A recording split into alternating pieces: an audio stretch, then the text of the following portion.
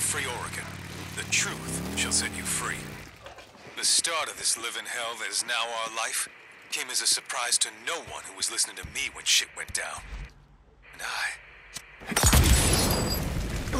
Most who spoke out against the feds, well, things didn't go so great for them. The cemeteries are filled with martyrs. Those who sought to call out the bullshit and the lies when they saw it. I know. Because they came after me.